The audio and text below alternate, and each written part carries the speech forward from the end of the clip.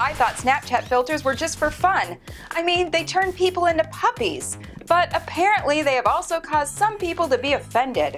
It's not the first time the app has come under fire for their filters.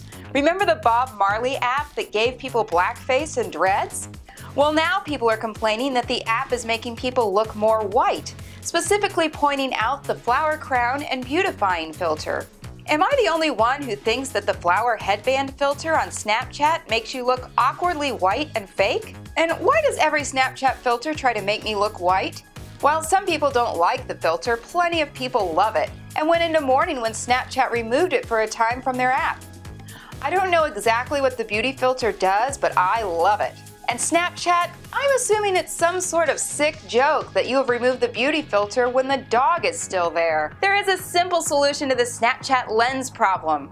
Make the choice not to use a lens at all. Except the classic lens that makes you puke rainbows. Obviously, that should never stop being a thing. I'm Keri Lumm for Buzz 60. Now you know, pass it on.